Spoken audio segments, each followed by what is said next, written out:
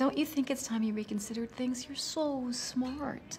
There's so much more you could be doing with your life. Like going to college? Yes, yes, like college. Yeah, like we've never talked about that before. Like every single day of my life. I figured out what I wanted to do and I'm doing it. That's a good thing. But on whose dime? You're helping Tom with med school. You helped Anna with law school. Sweetheart, those are real careers. I just don't want you to limit your choices. You want to make my choices. No, I don't. I'm really happy. I'm sorry, I don't. I don't want to argue about this. Just forget I said anything, okay? It's forgotten.